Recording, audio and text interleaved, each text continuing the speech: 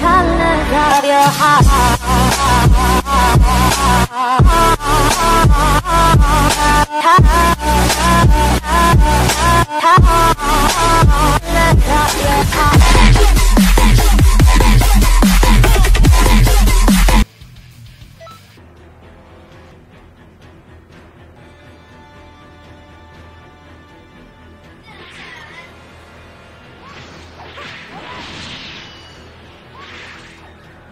Here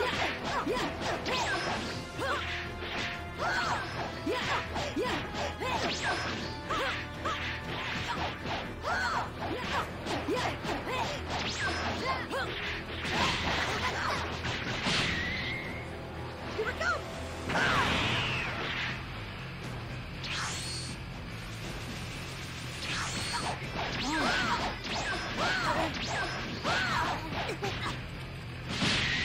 Yeah!